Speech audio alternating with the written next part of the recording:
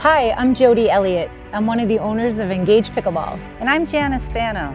I'm a very average pickleball player, but I'm a great partner. And today for Pickleball Tips, we're going to talk about how you can be a great partner.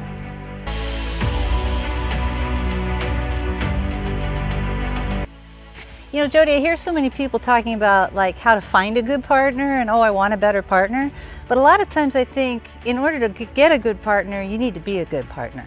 I agree. Okay, so today I'm gonna like talk, like Jodi and I don't get a chance to play very often. So if you just have a minute or two to get used to somebody before you go out on a court, whether it's a rec game or a tournament, here's some of the things I like to ask. So first thing I usually ask my partners, which side are you gonna do the most damage on? Like which side are you gonna be better on, Jodi? Which, which side should we put you on? Well, if you were my partner, Jana, I love your forehand, okay. so I would want you on the uh, odd side. Okay. So, and I'm fine on either side, but right. where I want to use your awesome forehand, I would rather stack and put you right on that side, right from the beginning. Okay, good. Well, then that's good. That's good. Now we're set up to win, right? Right. The next thing I like to find out is to ask my partner, do you run for your lobs? Like, do you run backwards to take your lobs or do you want me to run across and take your lobs? That's an excellent question because there's so much confusion on that and there really doesn't have to be.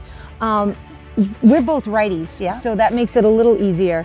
Um, when I'm on the odd side, I know that I'm going to get my short lob and you're going to get your short lob. But being a righty on the odd side, I am supposed to uh, go back for both the deep lobs because okay. it's my forehand. All right. Well, that's so, good to know because everybody does it differently. Yes. Right. So you run on, you kind of sidestep on the back of the court, you know, so you can use your forehand. And when I go behind you, I've got my forehand. That sounds great. We don't want to see you crossing over with your backhand because that's not your best shot. Okay. And then I always like to ask partners, like, what do you feel are your best shots so that I can help set up? You know, some people really like their backhand or they like their forehand or they just love their overhead. So I always ask my partner, what what shots do you really like? How can I my favorite shots are when, when my partner and myself hit people's feet.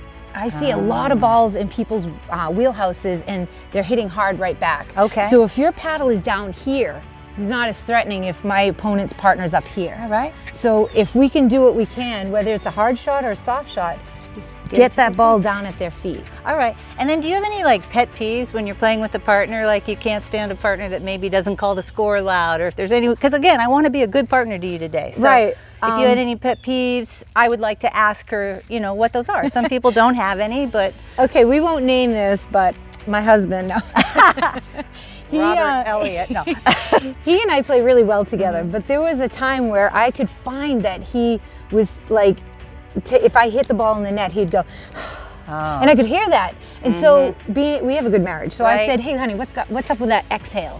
And he said, he goes, seriously, I was not doing it for that. He goes, I was just kind of like holding my breath and then I just let it go. And uh -huh. I, since we have a good marriage, I'm going to go with that. Uh -huh. But seriously, stuff like that, you don't even realize that you're doing and no. people take it the wrong way. Body language, so right? talk to your partner because yeah. they might not even know they're doing it. And he right. honestly hasn't done it since. So. Yeah, you know, guys, eye rolls, uh, body language, it's the same thing. Your partner never means to hit that ball in the net. They really didn't want to do that. So it's like encouragement. I don't know if you know, but I was a wedding minister and I've married 4,000 couples. So I'm really into relationships and communication. And um, I feel like however you are in your relationships is how you're going to be on the pickleball court. So support your partner. I promise they'll play better for you. And then lastly, I always tell a partner, if, if, if a ball's out, and um, I call it out and you saw it in, just override me. You know, just do it in a gentle way where it's like, oh, it might have been in, I'm not sure, but I can't say 100%.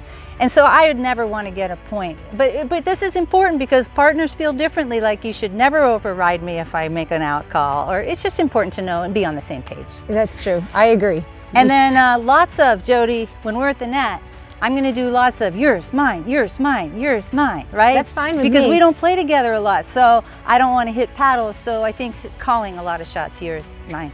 And, you, you know, when uh, return a serve, I like to stand at the tee because it makes the box a little smaller okay. for that server. But I need to ask my partner, does this bother you?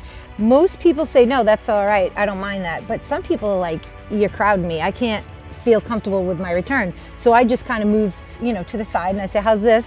Actually, one time they said a little more. I'm like, okay. Okay. So, but if that's what they want, I want to make my partner happy and comfortable. Comfortable, because right. we're here to have a good time. Making them comfortable. So again, to recap, all about being a good partner is, you know, being a good partner, not having a good partner, but working on being a good partner.